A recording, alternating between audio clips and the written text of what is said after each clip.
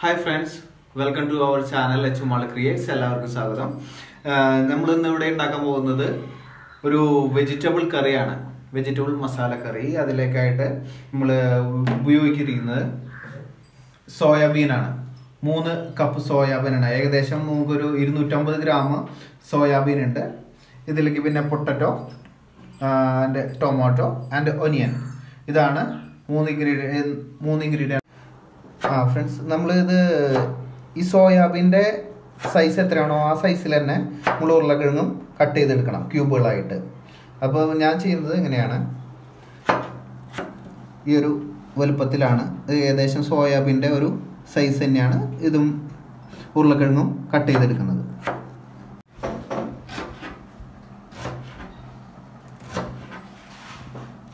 നമ്മൾ കറി കറിയിലേക്ക് എടുക്കണ ഇഞ്ചി വെളുത്തുള്ളിയാണ് ചോപ്പ് ചെയ്തുകൊണ്ടിരിക്കുന്നത് നല്ല നൈസായിട്ട് ചോപ്പ് ചെയ്തെടുക്കണം. നമ്മൾ അരയ്ക്കുന്നില്ല ചോപ്പ് ചെയ്തിട്ടാണ് യൂസ് ചെയ്യുന്നത്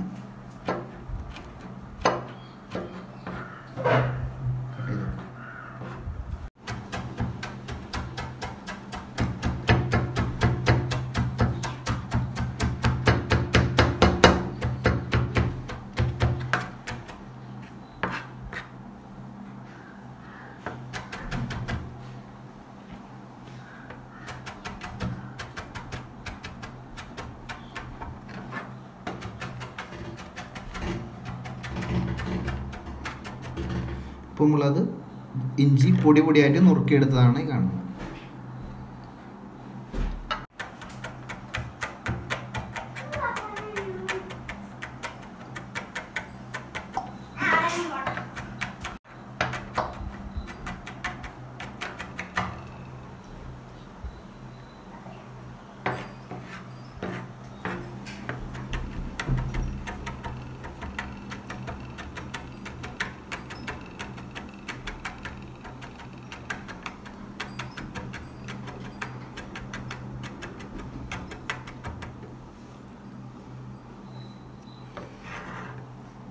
ഇത് അതിലേക്ക് വേണ്ട ഗാർലിക്ക്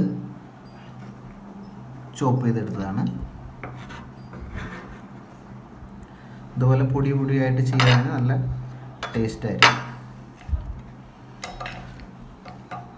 അടുത്തതായിട്ട് നമ്മൾ പച്ചമുളക്. അത് നടുകീറിയിട്ടാണ് ഞാൻ ഉപയോഗിക്കുന്നത്.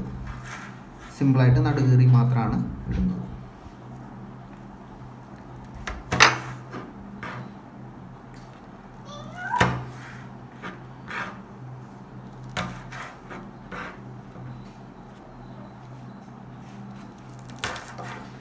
ഞാൻ ഇപ്പോൾ എടുത്തിരിക്കുന്നത് ആറേഴ് ഒരു മീഡിയം സൈസ് പച്ചമുളകാണ്. ഇത് ഞാൻ ഇതിന്റെ കൂടെ കുരുമുളക് പൊടിയും ഉപയോഗിക്കുന്നതുകൊണ്ട് എടുത്തിരിക്കുന്നത്. പച്ചമുളക് മാത്രം മതി എന്നുള്ളവർക്ക് കൂടുതൽ പച്ചമുളക് ആഡ് ചെയ്യാവുന്നതാണ്. അതല്ലെങ്കിൽ ഞാൻ ചുവന്ന മുളക് ഉപയോഗിക്കുന്നില്ല തീരെ.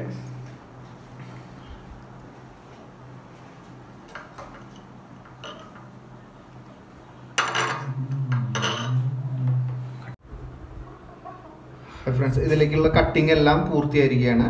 ഇപ്പോൾ ചെയ്തിരിക്കുന്നത് ഉരുളക്കിഴങ്ങ് നമ്മൾ ഇതിന്റെ സോയാബീന്റെ സൈസിലേക്കാണ് ചെറിയ ക്യൂബുകളായിട്ടാണ് കട്ട് ചെയ്തിരിക്കുന്നത്.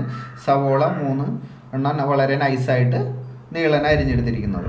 തക്കാളി വെറും രണ്ടാക്കി മുറിച്ച് വെച്ചിരിക്കുകയാണ്. പിന്നെ ഇഞ്ചി ഗാർലിക്കും ഇഞ്ചിയും വെളുത്തുള്ളിയും നമ്മൾ വളരെ പൊടിയായിട്ടാണ് അരിഞ്ഞെടുത്തിരിക്കുന്നത്.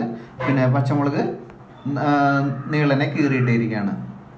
അതുപോലെ നമുക്ക് ആവശ്യമുള്ള വേപ്പിലകൾ വേപ്പില പിന്നെ ഒരു കാൽമുറി തേങ്ങയുടെ കഷ്ണം കൊത്ത ചെറിയ കൊത്താക്കി മാറ്റി വെച്ചിട്ടുണ്ട്. ഇനി നമുക്ക് കുക്കിങ്ങിലേക്ക് പോകാം. നമ്മൾ സോയാബീൻ ബോയിൽ ചെയ്തെടുക്കാനായ പോവാണ് നമ്മൾ അപ്പോൾ അതിലേക്ക് വെള്ളത്തിൽ സോയാബീൻ ഇട്ട് അടുപ്പത്ത് വെച്ചിരിക്കുകയാണ്.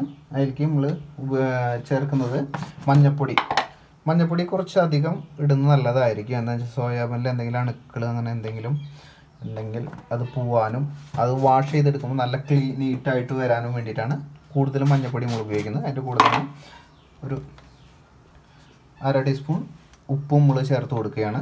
അത് നന്നായിട്ട് ബോയിൽ ചെയ്യാൻ വെച്ചിരിക്കുകയാണ് ഇപ്പോൾ സോയാബീൻ ബോയിൽ ചെയ്താൽ വെച്ചത് നന്നായിട്ട് ബോയിലായിട്ട് മഞ്ഞപ്പൊടിയും ഉപ്പൊക്കെ നന്നായിട്ട് പിടിച്ചിട്ടുണ്ട് സോയാബീനിലൊക്കെ. നല്ല രീതിയിൽ വീർത്ത് വന്നിട്ടുണ്ട്. സോയാബീൻ ഇപ്പോൾ വെന്തിട്ടുണ്ടാവും നല്ല രീതിയിൽ അപ്പോൾ ഹാഫ് കുക്ക്ഡ് ഓൾറെഡി ആയിട്ടുണ്ട്. അപ്പോൾ അത് നമുക്കിത് മതി. ഇത് ഇത്രയും ബോയിൽ ചെയ്തതിന് ശേഷം വെറുതെ അടച്ചു വയ്ക്കുകയാണ്. ഇനി നമുക്ക് അടുത്ത സ്റ്റെപ്പിലേക്ക് പോകാം. ഫ്രണ്ട്സ് നമ്മളിപ്പോൾ മെയിൻ കുക്കിംഗ് തുടങ്ങാൻ പോവാണ്. അപ്പോൾ അതിലേക്കായിട്ടുള്ള പാൻ നമ്മൾ വച്ചിട്ടുണ്ട് ചൂടാവാനായിട്ട്. ചൂടായതിന് ശേഷം എണ്ണ ഒഴിക്കുക.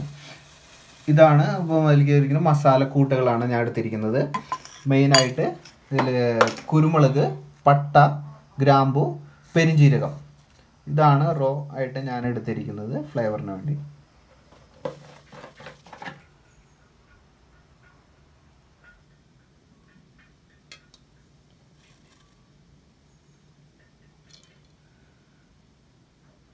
ആവശ്യത്തിനുള്ള എണ്ണ നമ്മളതിലേക്ക് ഒഴിച്ചു കൊടുക്കുകയാണ്.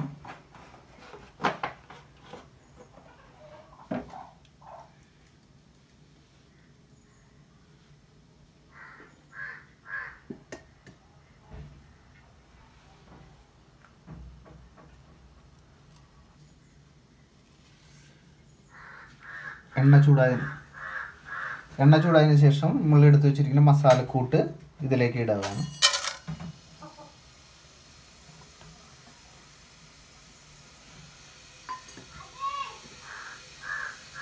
അതിലേക്ക് നമുക്ക് കറിവേപ്പില ഇട്ട് കൊടുക്കാം.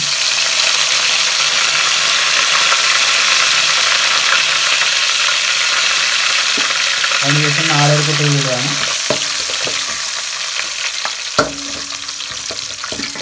നാളികേര കൊത്തിട്ട് ഒന്ന് മൂക്കണ വരെ ചെറിയ രീതിയിൽ ഇളക്കി കൊടുക്കാം ചെറിയൊരു ബ്രൗണിഷ് കളറാകുമ്പോൾ നമുക്കിതിലേക്ക്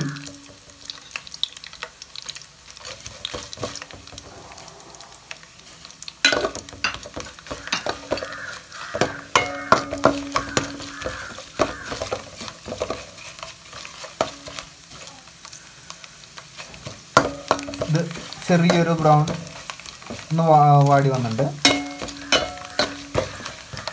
നമുക്കിതിലേക്ക് ഇഞ്ചി ഇഞ്ചിയും വെളുത്തുള്ളിയും ചോപ്പ് ചെയ്ത് വെച്ചതും പച്ചമുളകും കൂടി ആഡ് ചെയ്ത് കൊടുക്കുകയാണ്.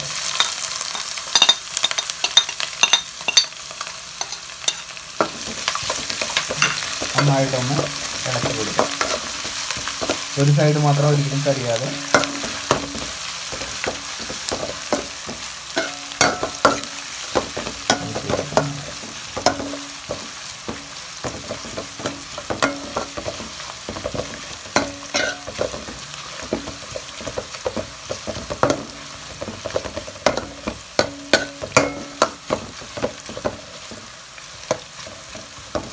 കറി വെജിറ്റേറിയൻസിന് വളരെ ആയിട്ട് ചെയ്യാൻ പറ്റുന്നതാണ്. എന്നുവെച്ചാൽ വെജിറ്റേറിയനുകൾക്ക് ഒരുപാട് വെറൈറ്റീസ് ഒന്നുമില്ല. അപ്പോൾ അതിന് പകരമായിട്ട് നമ്മൾ ഒരു വെറൈറ്റി ആയിട്ട് ചെയ്യാൻ പറ്റുന്ന ഒരു കറിയാണത്. നല്ലൊരു മസാലക്കറിയാണ്. നമുക്ക് ചപ്പാത്തിക്കോ പൊറോട്ട അങ്ങനെ എന്തിന്റെ കൂടി യൂസ് ചെയ്യാൻ പറ്റുന്ന നല്ലൊരു കുഴമ്പ് രൂപത്തിലുള്ള കറിയാണ് ഉണ്ടാക്കാൻ പോകുന്നത്. അപ്പോൾ ഇത് ചെറുതായിട്ടൊന്ന് ലൈറ്റ് ബ്രൗൺ ആയിട്ട് വന്നിട്ടുണ്ട്. നമുക്കതിലേക്ക് ഓനിയൻ കട്ട് ചെയ്ത് വെച്ച് ഇട ഇടാൻ പോവാണ്.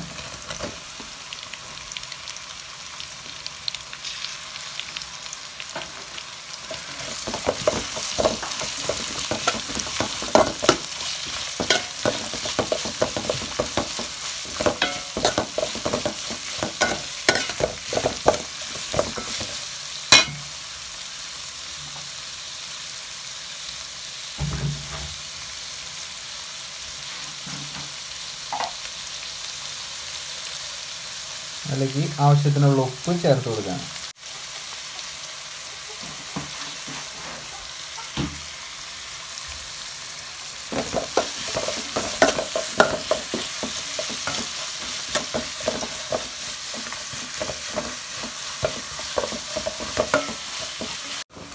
യെസ് ഫ്രണ്ട്സ് സവോളയൊക്കെ നല്ല രീതിയിൽ വാടി മിക്സ് ആയിട്ട് വന്നിട്ടുണ്ട്. ഗാർലിക്കും പേസ്റ്റ് ഇഞ്ചിയും എല്ലാം കൂടി സവോളയെല്ലാം കൂടി നല്ല രീതിയിൽ മിക്സായിട്ട് ബ്രൗണിഷ് കളറായിട്ടുണ്ട്. ഇതിലേക്ക് നമ്മൾ ചെയ്യാൻ പോകുന്നത് തക്കാളി ആഡ് ചെയ്യാൻ പോവാണ്. തക്കാളി എങ്ങനെ ആഡ് ചെയ്യുന്നത് വെച്ച് കഴിഞ്ഞാൽ ചെറിയ കഷ്ണങ്ങളായിട്ടല്ല ഞങ്ങൾ ഒരു തക്കാളി വെറും രണ്ട് പീസാക്കി വെച്ചിരിക്കുകയാണ്. അതിങ്ങനെ ഇതിന്റെ നടുക്കിലേക്ക് ആയിട്ട് നമ്മൾ കമഴ്ത്തി വയ്ക്കുകയാണ്. അപ്പോൾ എന്താ ഗുണം എന്ന് വെച്ച് കഴിഞ്ഞാൽ ജ്യൂസി ആയിട്ട് വരും ഇത് നമ്മൾ മിക്സിയിൽ അടിച്ച് ഇത് അടിച്ചൊഴിക്കുന്നതിലും നല്ല ജ്യൂസി ആയിട്ടാണ് ഇങ്ങനെ വെച്ച് കഴിഞ്ഞാൽ കിട്ടുന്നത്. ഇപ്പോൾ ചെറിയ പീസുകളായ ഇട്ടാലും ഇത് നമുക്ക് അത്ര ജ്യൂസി ആയിട്ട് കിട്ടില്ല. നല്ല തിക്ക് ഗ്രേവി വരാൻ വേണ്ടിയിട്ടാണ് നമ്മൾ ഇത് ഇതുപോലെ ചെയ്യുന്നത്. ഇത് ഇതിന്റെ ഈ മസാലയൊക്കെ ഇതിന്റെ ഇടയിലേക്ക് ഫില്ല് ചെയ്ത് കൊടുക്കുകയാണ്. ഫില്ല് ചെയ്ത് കൊടുത്തതിന് ശേഷം നമ്മൾ ലോ ഫ്ലെയിമിലാക്കി അടച്ചു വയ്ക്കുകയാണ് പാത്രം.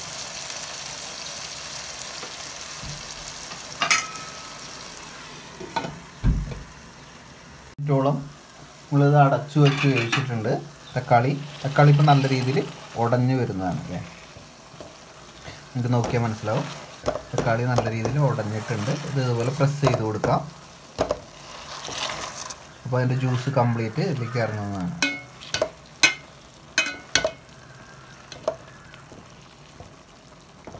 ഇത് നല്ല തിക്കായിട്ടുള്ള ഗ്രേവിയിൽ കറി വെക്കണം എന്നുണ്ടെങ്കിൽ ഇതേ രീതിയിൽ ചെയ്ത് കഴിഞ്ഞാൽ നല്ല കൺസിസ്റ്റൻസി കിട്ടുന്നതായിരിക്കും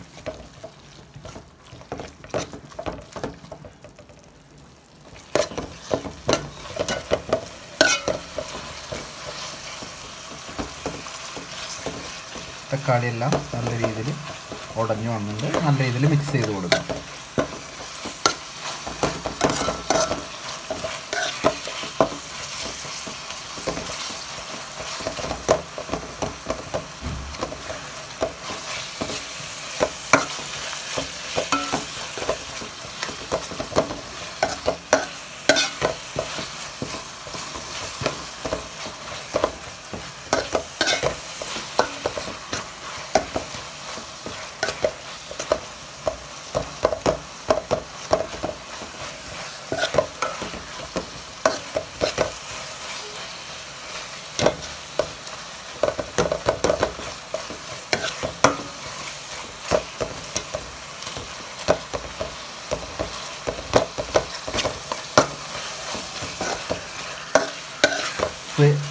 കേസ് ഇത് ഉടയാത്തത് ഉണ്ടെങ്കിൽ ചില തക്കാളി നല്ല പഴുത്ത അല്ലെങ്കിൽ ഉടയാണ്ട് വരും. അപ്പോൾ നമുക്ക് കുറച്ച് നേരം കൂടി കൂടുതൽ സമയം സ്ലോ ഫ്ലെയിമിലിട്ട് അടച്ചു വെച്ചാൽ മതി. നല്ല രീതിയിൽ അതിന്റെ ജ്യൂസൊക്കെ പുറത്ത് വന്ന് മിക്സായിട്ട് കിട്ടുന്നതായിരിക്കും.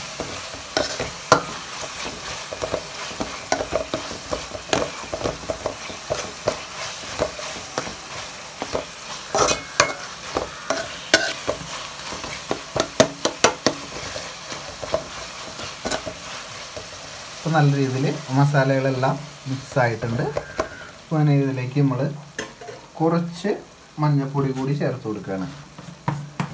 ഓൾറെഡി നമ്മൾ ഇതിൽ ഇട്ടിട്ടുണ്ട് സോയാബാനിൽ യൂസ് തിളപ്പിച്ച് വെച്ചിരിക്കുന്നതാണ്. അപ്പോൾ അതുകൊണ്ട് ഒരുപാട് ഇടണ്ട. ഒരു പൊടി ഇട്ടാൽ മതി.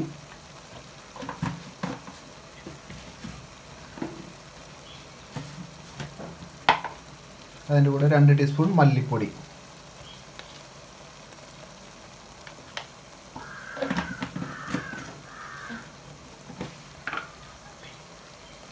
പിന്നെ നമ്മൾ ഇതിലേക്ക് യൂസ് ചെയ്യുന്നത് പെരിഞ്ജീരകത്തിന്റെ പൊടിയാണ്.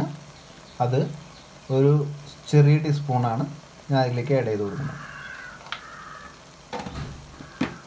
വേറെ ഗരം മസാല പൊടികളായിട്ടൊന്നും ഉപയോഗിക്കുന്നില്ല.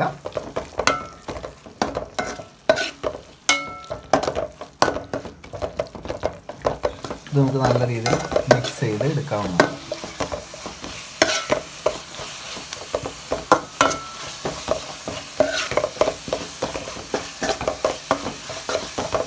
ആ പച്ച മസാലയുടെ മണം പോകുന്നത് വരെ നല്ല രീതിയിൽ ഇളക്കി കൊടുത്ത് മിക്സ് ചെയ്തെടുക്കാം.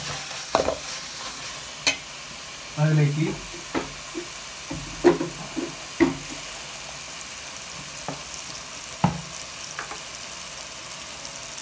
നേരത്തെ നമ്മൾ റോ ആയിട്ടുള്ള മുഴുവനായിട്ടുള്ള കുരുമുളക് ഉപയോഗിച്ചിട്ടുണ്ടായിരുന്നു. അതിന്റെ കൂടെ നമ്മളൊരു ചെറിയ ടീസ്പൂൺ കൂടി മുളക് കുരുമുളക് പൊടി ചേർത്ത് കൊടുക്കുകയാണ്. എന്താണെന്ന് വെച്ച് കഴിഞ്ഞാൽ പച്ചമുളക് കുറച്ചാണ് നമ്മൾ ഉപയോഗിച്ചിട്ടുള്ളൂ. അപ്പോൾ അതിന്റെ എരിവ് ഒന്ന് സ്പൈസി ആവാൻ വേണ്ടിയിട്ട് കുറച്ച് സ്പൈസി ആവാൻ വേണ്ടിയിട്ടാണ് കുരുമുളക് പൊടി ചേർത്ത് കൊടുക്കുക.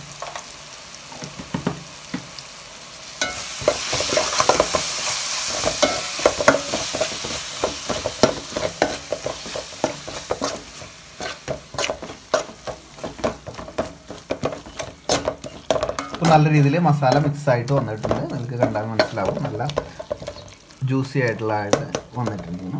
ഇതിലേക്ക് നമ്മൾ കട്ട് ചെയ്ത് വെച്ചിരിക്കുന്ന ഉരുളക്കിഴങ്ങ് ആഡ് ചെയ്യുകയാണ്.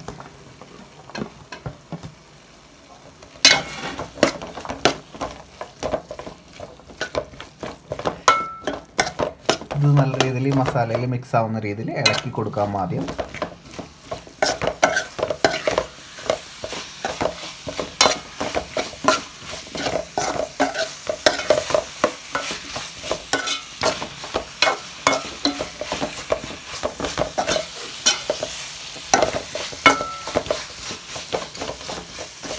നല്ല ഇത് മിക്സ് ആയി ആയിട്ടുണ്ട് നമുക്ക് കുറച്ച് നേരം വയ്ക്കാതെ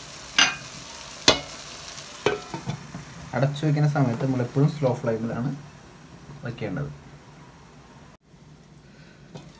നമ്മൾ ഉരുളക്കിഴങ്ങ് ഇട്ട് അടച്ചു വെച്ച് ലോ ഫ്ലെയിമിലിട്ട് വെച്ച് നമ്മൾ ഉരുളക്കിഴങ്ങ് ഇട്ട് മസാലയിൽ മിക്സ് ചെയ്ത് വെച്ച് ഇപ്പം നല്ല രീതിയിൽ ഉരുളക്കിഴങ്ങ് മസാലയായിട്ട് മിക്സ് ആയിട്ട് വന്നിട്ടുണ്ട്. അപ്പോൾ അതുകൊണ്ടാണ് നമ്മൾ ആദ്യം വെള്ളം ഒഴിച്ചിട്ടുണ്ടായിരുന്നില്ല. എന്താ കാരണം വെച്ചാൽ ഈ മസാല ഉരുളക്കിഴങ്ങിൽ നല്ല രീതിയിൽ പിടിക്കാൻ വേണ്ടിയിട്ടാണ് ലോ ഫ്ലെയിമിലായിട്ട് മിക്സ് ചെയ്ത് അടച്ചു വെച്ചത്.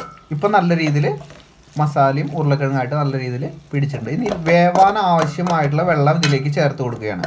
അപ്പോൾ നമ്മൾ നല്ല കുഴമ്പ് രൂപത്തിലുള്ള കറിയാണ് ഉണ്ടാക്കുന്നത്. അതുകൊണ്ട് നമ്മൾ അധികം വെള്ളം ഉപയോഗിക്കുന്നത് ഇത് ജസ്റ്റ് വേന്ത് കിട്ടാൻ വേണ്ടിയുള്ള വെള്ളം മാത്രം ഇതിലേക്ക് ഒഴിച്ചു കൊടുക്കുക. നമ്മൾ ഏകദേശം ഒരു ഗ്ലാസ് വെള്ളമാണ് ഇതിലേക്ക് ഒഴിച്ചു കൊടുത്തിരിക്കുന്നത്. ഇത് ഒന്ന് തിളയ്ക്കുന്നത് വരെ ഹൈ ഫ്ലെയിമിലിടുക തിളച്ച് വന്നതിന് ശേഷം ലോ ഫ്ലെയിമിലാക്കിയിട്ട് ഏകദേശം ഒരു പത്ത് മിനിറ്റ് നേരം അടച്ചു വയ്ച്ച് വേവിക്കേണ്ടതാണ്.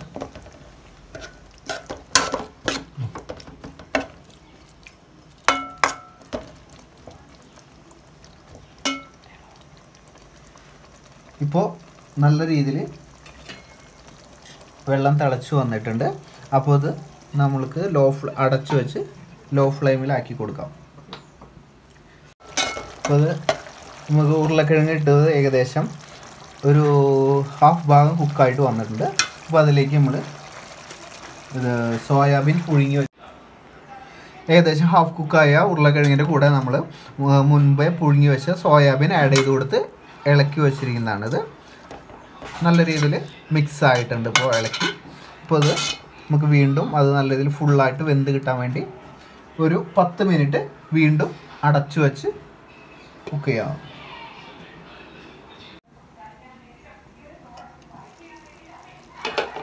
നമ്മുടെ കറി ഏകദേശം റെഡി ആയിട്ടുണ്ട്. ഇനി നമുക്ക് മല്ലിയിലയും കൂടി ഇട്ടിട്ട് ഗാർണിഷ് ചെയ്യാം.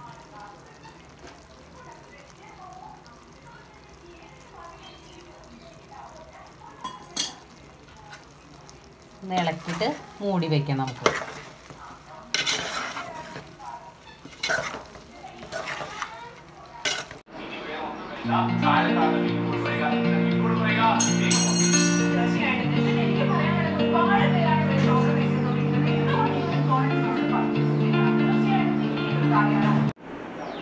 ലച്ചുമോൾ ഇപ്പോൾ ടേസ്റ്റ് ചെയ്ത് നോക്കാണ് നമ്മൾ ഉണ്ടാക്കിയ റെസിപ്പി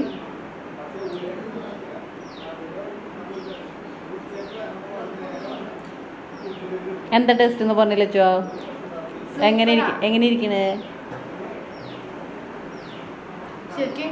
നല്ല ടേസ്റ്റ് ഉണ്ട്.